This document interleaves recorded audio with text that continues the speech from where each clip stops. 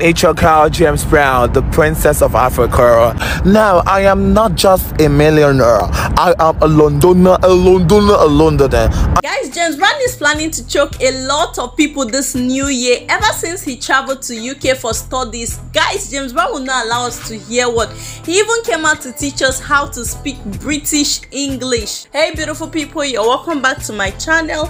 I hope you had a great and lovely day. Don't forget to give this video a thumbs up and also feel free to drop a comment in the comment section below now here is your princess of africa james brown in uk and guys james brown just hit 1 million followers on instagram and guys this got him so excited let me allow you guys to watch what he came out to say about his 1 million followers on instagram Darling, it's your girl James Brown, the princess of Africa. I am now 1 million followers, girls. My darling, my sweet pie, my cuckoo, my caca, my zag zag zig zag zag. Now, I am not just a millionaire. I am a Londoner, a Londoner, a Londoner. I am what they call the high class, high tension.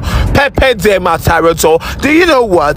This year, I will choke you with success. I Darling, princess is off to school. I have no time to exchange word. I am what busy, busy, book, book, and busy. Guys, today happens to be James Brown's birthday, and James Brown is celebrating it in UK.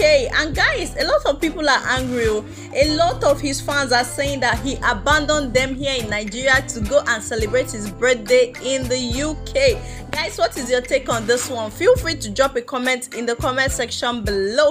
Now, let me allow you guys to hear what what James Brown came out to say about his birthday party coming up tonight. The Princess of Africa, Amatodu, Amatodu Toy.